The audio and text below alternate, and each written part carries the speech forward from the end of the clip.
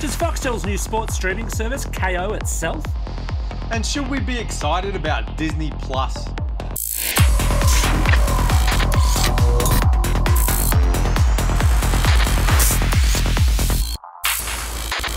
Vertical Hold, behind the tech news, is proudly brought to you by Belkin. Welcome to Vertical Hold Behind the Tech News, where we talk to Australia's leading technology journalists to get the stories behind the news of the week.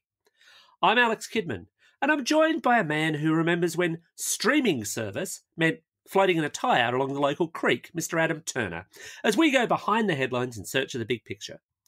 Joining us this week to talk all things streaming is TV commentator and Decider TV editor Steve Molk. Steve, welcome back to the show. Hello, everyone.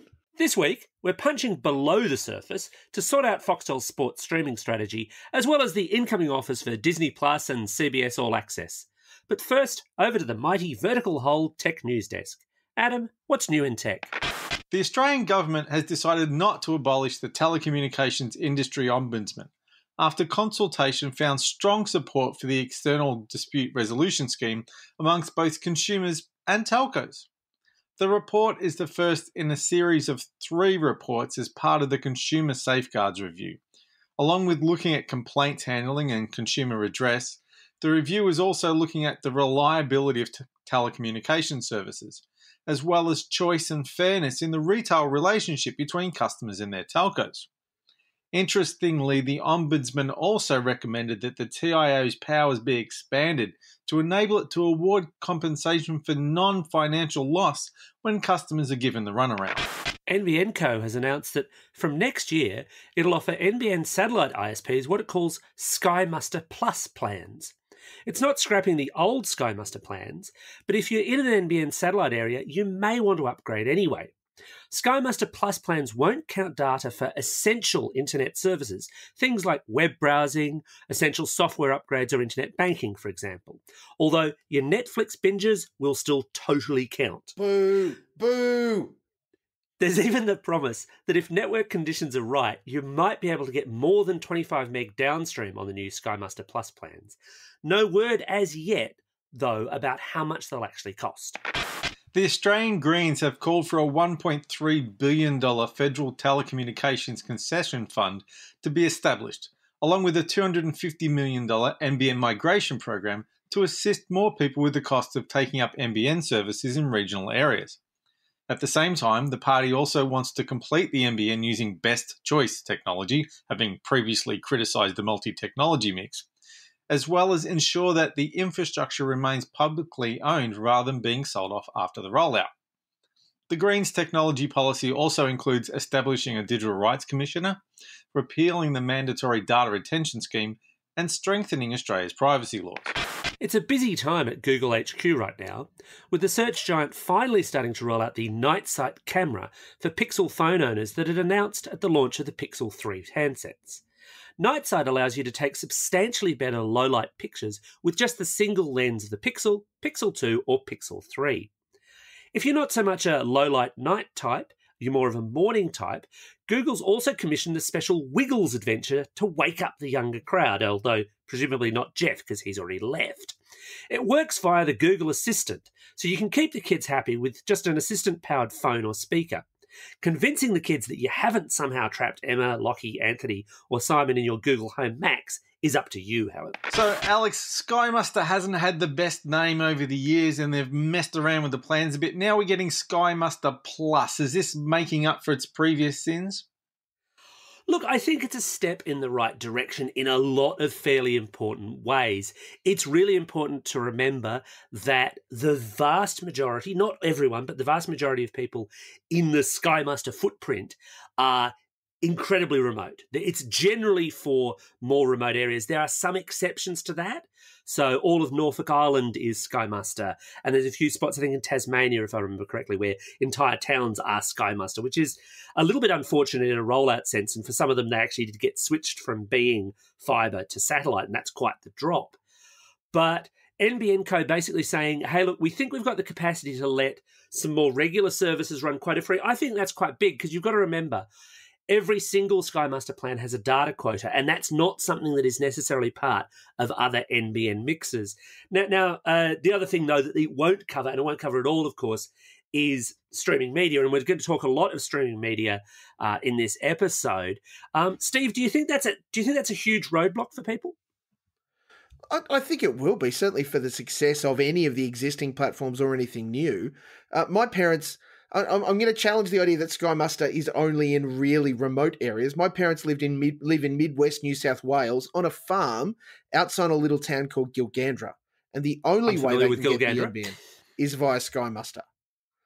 So, I mean, the boost to this kind of thing is great for them because even the, the the cellular network out there is not great.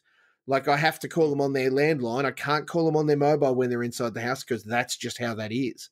Um, and and they, God bless them, are seventy one and sixty eight, turning sixty nine. Um, not the greatest consumers of streaming media, but only because they don't really have the chance to access it. Yeah, I mean, I think there's a there's a there's a physics difficulty at play here. Sure. because the satellites have a capacity and they're trying to kind of balance that and is uh, you know as we all in fact in the technology industry saw coming streaming was always going to start chewing up huge globs of that and there's a there's a bit of a balancing thing here i guess the benefit is that if you're if you're everyday web browsing and if the updates to to windows or mac or linux don't count although i'll be really interested to see if they count linux amongst that having Mm. said that. Uh, but if, if you if you are if your OS updates don't count, if your web browsing doesn't count, it means that whatever plan you're signed up to, you can use all that data for Netflix binging. Um, and there's even this theoretical prospect, although I think it'll be the devil will be in the detail for this one, that you might get better than 25 meg peak speeds when it's not when the network con- conditions allow. Is, is I think roughly the phrasing that they used. And I think that's essentially going to be, yeah, look, don't even think about it in busy peak evening periods. But if you're a bit more of a, you know, an early morning person, or even actually if you're doing a Netflix binge in the middle of the day on a workday, you might find that you get slightly better speeds. And as we know, that could lead to slightly better quality. I guess you'll then have to balance, hmm, do I really need to watch this in HD because then it's a bigger chunk of my quota? Or if you just know how to use the scheduling features on uTorrent. which my parents definitely don't. Um, it, it- I guess the, the challenge more than anything on this is let's compare some tech here. And I know that things change so rapidly in this in this situation. Foxtel are delivering 4K streams via satellite. Now we know that 4K is pretty hefty on the use, and that's you know it's dual streams and all sorts of stuff. Yet we're saying that the best we can get is oh, we, but we can probably do better than 25 meg. Mm, they're doing better than 25 meg to deliver 4K to Foxtel subscribers.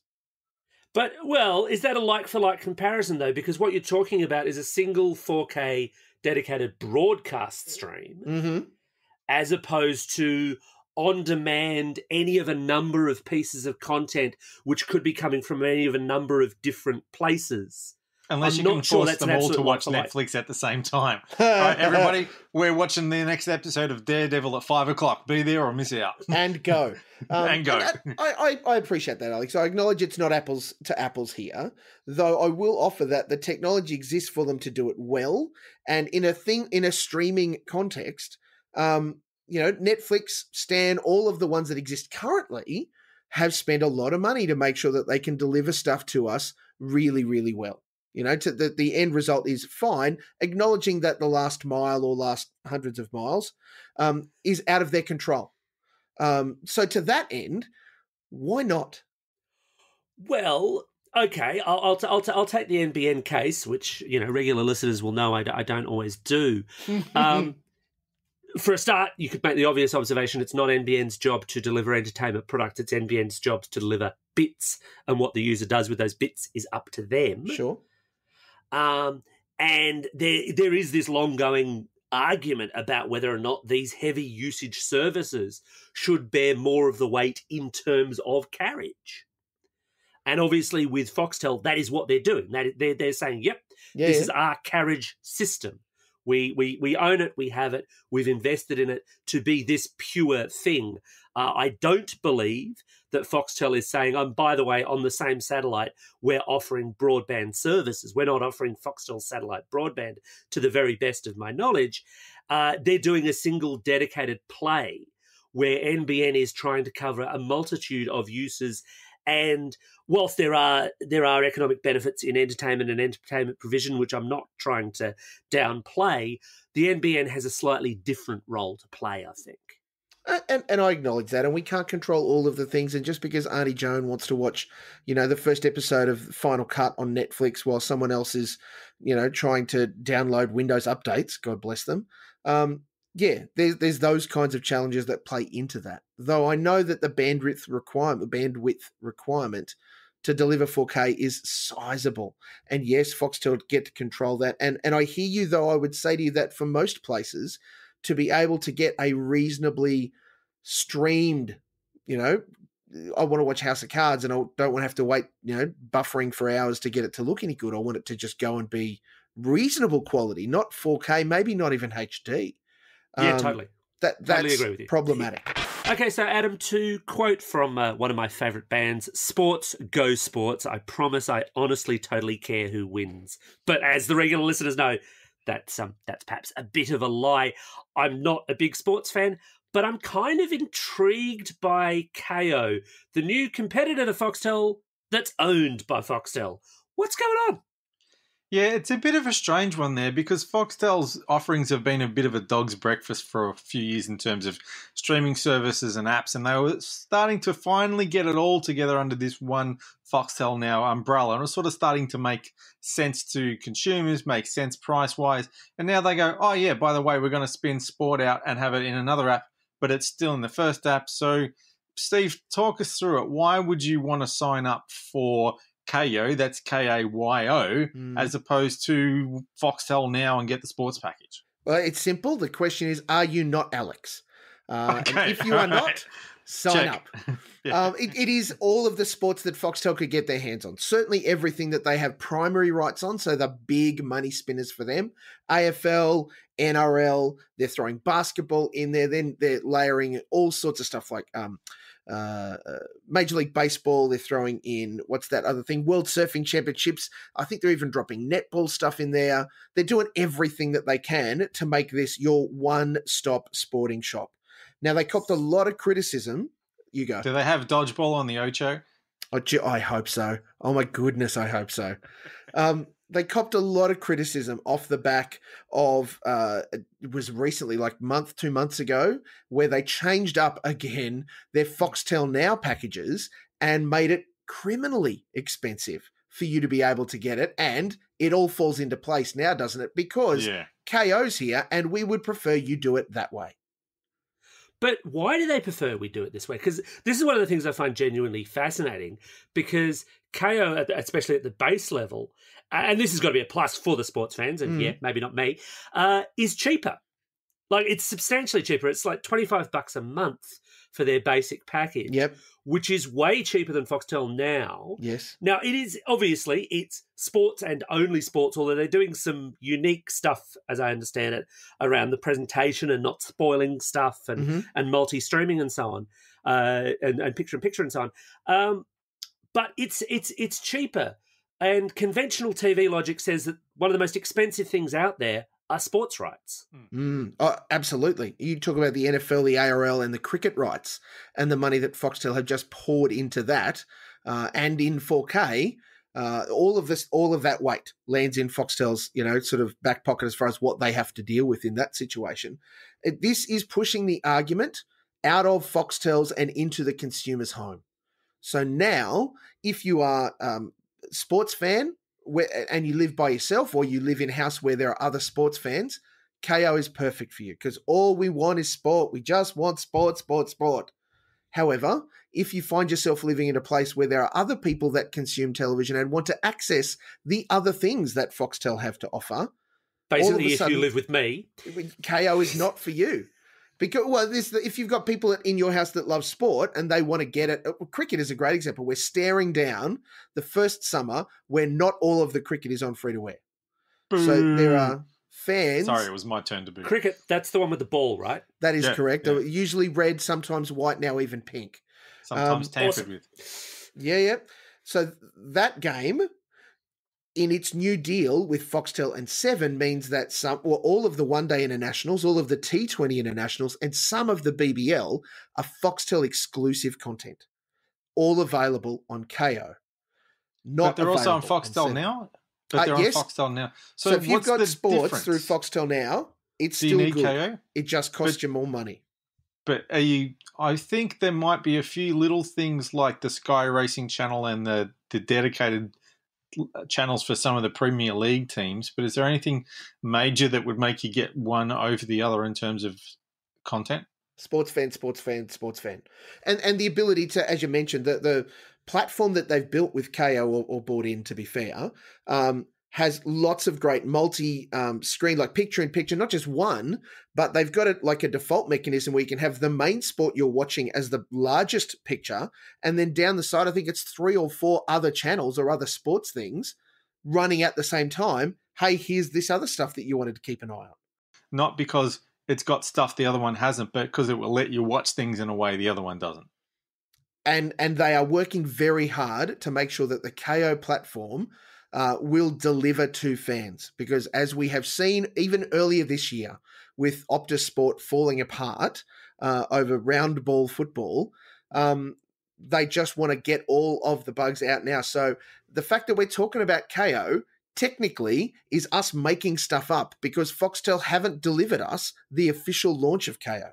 It's in beta. We can go to the website and sign up, but we cannot get any PR information out of them because it's not officially a thing.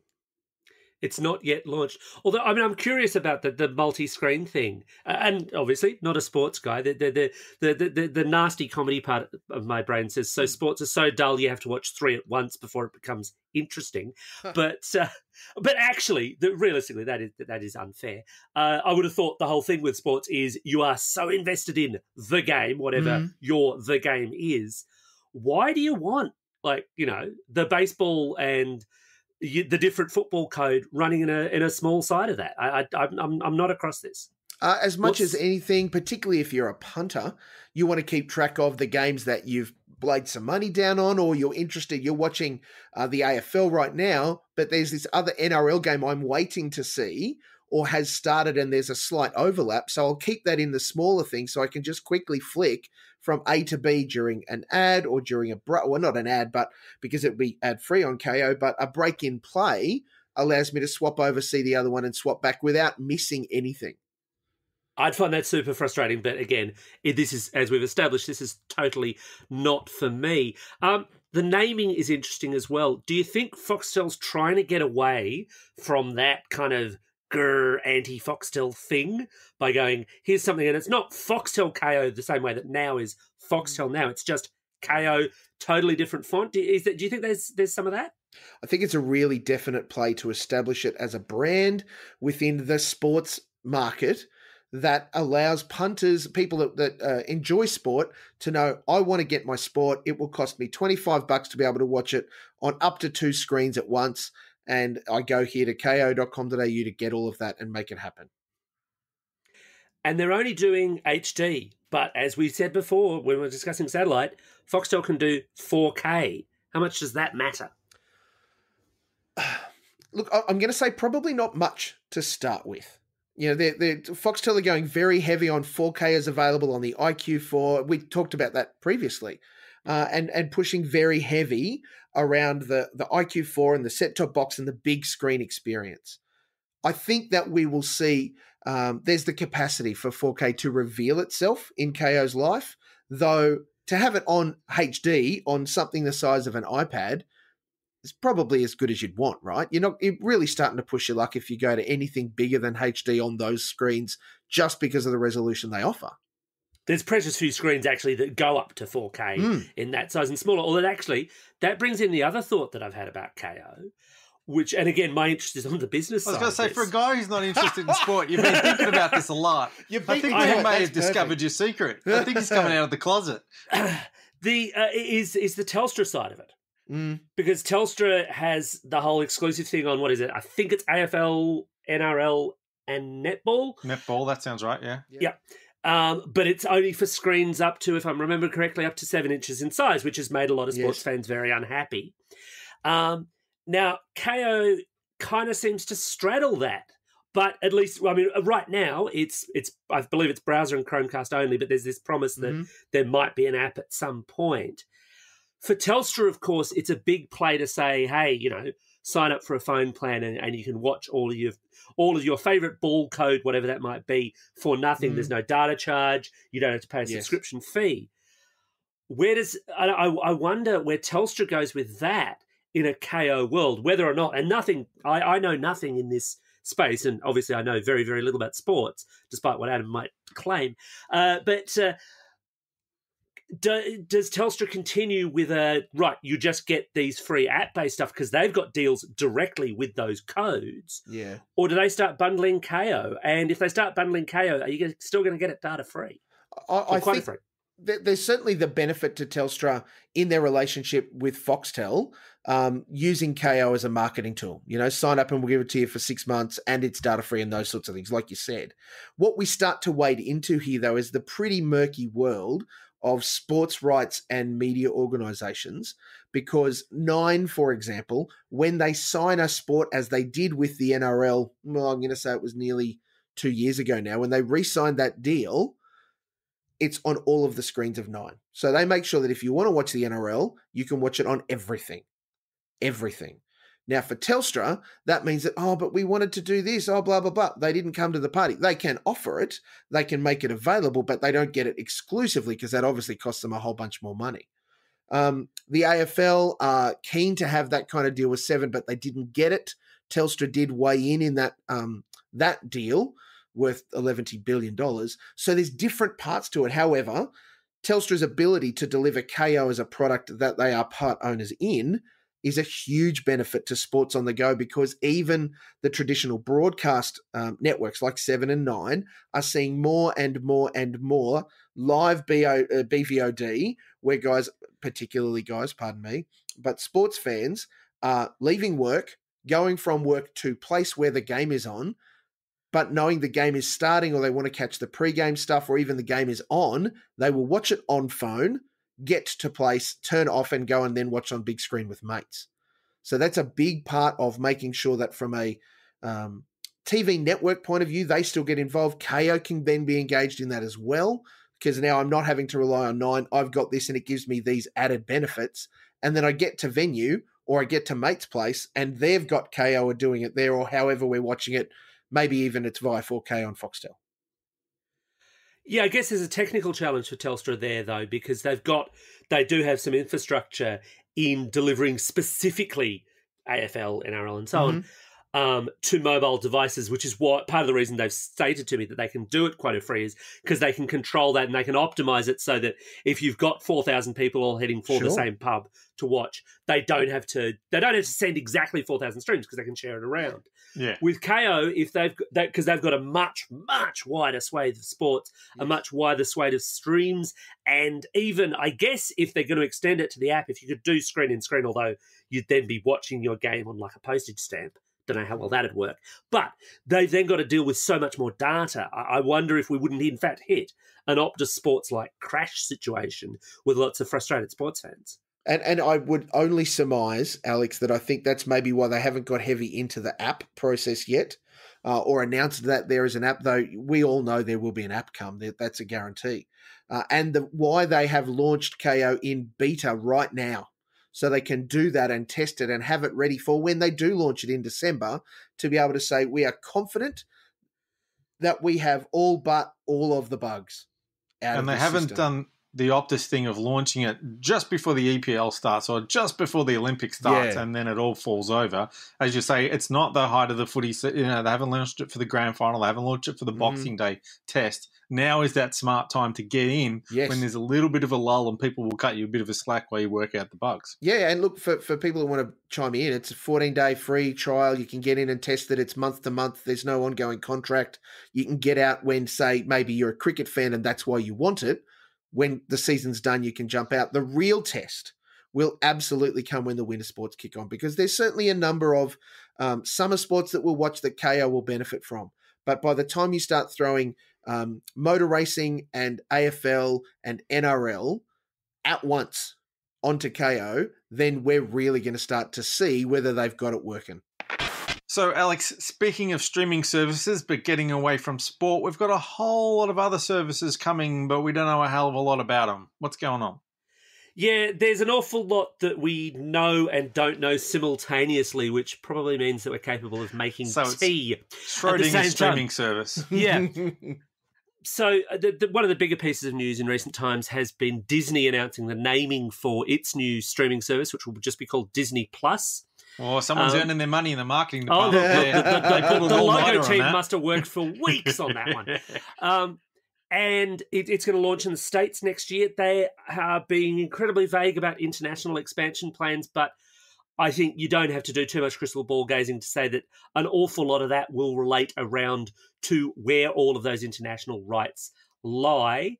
Uh, Disney is, of course, hoping to be a big winner in all of this because it wants a huge piece of that streaming subscription pie. The big loser in all of this is likely to be Netflix because basically, I think they've already run through the last of their new Disney movies that they're going to get Mm. in that sense, via in terms of Star Wars and, and Marvel and, and that kind of thing. Um, those will all be hitting uh, Disney Plus. They've also announced just a handful of new shows, but for most of them, with the possible exception of a High School Musical show, but I guess there's probably someone out there excited about that. Uh, they, they, they're leaning heavily on their big brands because we're talking Star Wars and we're talking Marvel. Steve, what have we got to theoretically, if it ever comes to Australia, to look forward to? Oh, heaps. Like heaps. Uh, because you're right, those those big marquee brands, Disney, Pixar, Marvel, Star Wars, that the only place we'll be able to get that content from a streaming point of view is Disney Plus. Assuming it launches here. And I'm gonna say to you, they'd be mad not to. Um, this is absolutely a challenge to Netflix and reflects Disney's investment in the way that they are throwing money around. For example, they're picking up um, Fox's entertainment catalog, which, by the way, includes a 60% share in Hulu. So, guess what else is going to come to Australia? Mm, probably next year, maybe 2020. Hasn't Hulu missed its boat? I've lost track of the number of times Hulu was supposedly thinking about coming to Australia.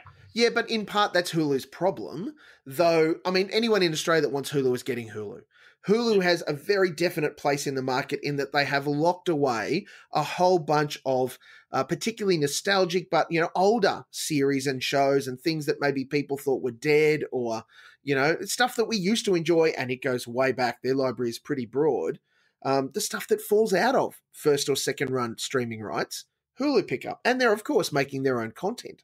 Um, so in the midst of this, for Disney to say we own this much of Hulu, the bulk of Hulu, and we've got Disney Plus, it makes sense for them to be able to say here is a service, uh, Australia, Europe, UK, whatever, where you can sign up for Disney Plus and you can sign up for Hulu because we're not going to put the stuff on Hulu on Disney Plus, and we don't want to then cannibalize our brand new streaming service and put some of it over here on Hulu.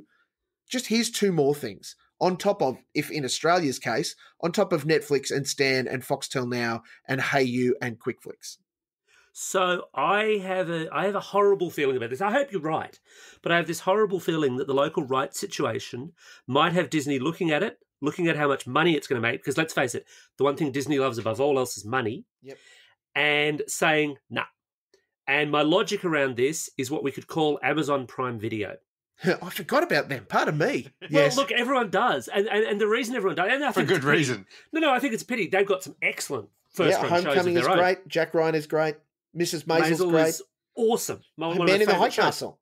Yeah, Man in But- the High Castle was good. Yeah. Here's the problem. I think we've listed like 90% of the local catalogue in that that's last it. 30 Yeah. seconds. And that's the big problem. And whereas, for example, in the UK, in the US, Amazon Prime Video is a lot better. I mean, it's it's a lot more compelling. There's a lot more content. They launched late here. They could not get the rights to the things that they had elsewhere. Mm. And and it, I mean, it actually travels with you if you if you sign into Amazon Prime Video in the UK, which I did recently. You've suddenly got this huge library at your command, and you just realize, wow, we get a we get a really tiny library in Australia for this stuff.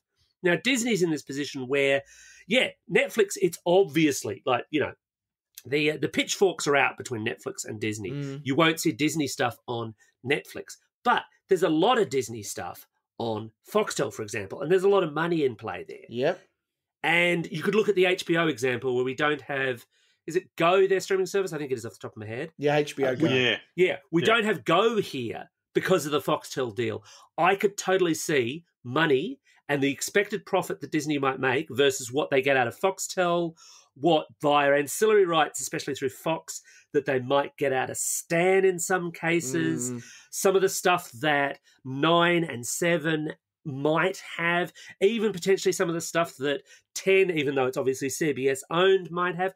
They might just go, look, this is actually too hard. And whilst we could obviously launch, you know, an all Lilo and Stitch channel, and in some ways that'd be awesome, um, they might just go, look, no, we're not launching there, leaving people to, you know, work out if they can actually do the old school Netflix geo hop trick with a VPN. And, and I, the interesting thing is, I reckon you've kind of nailed it. And the problem is new versus old. Disney Plus is new, and Disney are circling the wagons to make sure that when they launch in a, a, a region in an area, that the only place to get Disney stuff is Disney Plus. So I- suspect what we'll see is the deals that they may have with Fox, uh, Foxtel Now, uh, Stan, whoever, to have their gear. A lot of it is is movie based and will fall away, right? It's limited time anyhow, and a lot of the series that they're talking about dropping are original new content to Disney Plus, not stuff that has pre-existed. Where Hulu has the problem, where um, The Handmaid's Tale has a deal with um, SBS. So they can't pick that up, so they have to start limiting and carving away at their library. And that might mean that they go, well, okay, so Hulu doesn't come to Australia, but Disney Plus absolutely does. Uh, and I would be deathly surprised if we don't get like a global launch for that when it comes in 2019, not just America, but America, Europe, the UK, um, right through and including little old us down under. And so, Steve, we're still waiting for CBS All Access as well. What's the story there? Oh, I can't believe we're waiting. I mean, at tens, uh, uh, what do they call them? They are they just straight upfronts? I think they are. Everyone makes up their own name for this now. Um, they they talked about because they had the people from CBS there the fact that ten All Access is coming, so a rebranded CBS All Access, and their model primarily is going to be if you missed last night's episode of The Bachelorette, jump onto ten Play, so it will still exist and watch it there but the time that it's there for is much, much less. So you've only got a week or two weeks to watch it there before you jump over, and you won't have the entire season, only the last couple of eps. 10 All Access will have everything. Now, they haven't confirmed an air, uh, a launch date other than December, air quotes. They haven't given us a price. That's all guesses. They haven't given us platforms. That's all guesses, though reasonably educated guesses. Uh, and they haven't given us an idea of catalog other than CBS All Access, though we know that some of the key stuff from CBS All Access is already tied up in deals with other networks. Thank you for the good fight, SBS. And they can't take Star Trek off them either. The Star Trek Discovery is locked into to Netflix, even though they might lose it in other places. We will get it here. Yes, That's we all will I care about. continue to get. That's right. We'll get Discovery on Netflix in Australia. However, the new That's probably short, the end. well, the new short Yeah. stuff, uh, Star Trek stuff, Netflix passed on. Oh, okay. Interesting. So, Steve, if I understand you correctly, for 10 Play, what we're really talking about here is short term restricted content. And gee, that always works so well with the Australian audience, doesn't it? Well, hopefully it means that they stop trying to shovel the same ad into every episode seven times that we all have to put up with when we use 10 Play right now. Um, as far as 10 All Access, we've heard that there will be uh, at least an ad free option, if not entirely ad free. I think they would be doing that at their peril. But for 10 Play, it's likely still to be full of ads. And yeah, look, it's going to be a difficult sell to go, but I used to go to 10 Play to watch every episode of The Bachelorette. And now I can't. You're telling me if I need to do it. Though the compelling reason is if you are a fan of that series or that genre, not only do they have every ep of this season, but every season of The Bachelorette and the American version, and, and, and. I'm starting to CBS think I've. I'm starting to think I've wandered into the wrong podcast because sports, Bachelorette. There's nothing here for. I'm going back to iView where they've got plenty of Doctor Who folks. I just used the Bachelorette as a primary piece of real estate that Ten are very proud of, and at time of recording is staring down the finale tonight. Well, that just about wraps up yet another episode of Vertical Hold. Thanks to Steve for joining us for the show. It's always great talking to you guys. Thank you. Now, as always, we love to get your feedback on the show. Got an opinion on streaming rights or which streaming services you would or wouldn't subscribe to? Let us know via Twitter or the Vertical Hold Facebook page. Thanks everyone for listening. And remember, if you like what you hear, hit that subscribe button. Tell your friends, share it on social media. Come and have a chat to us and tell us what you think.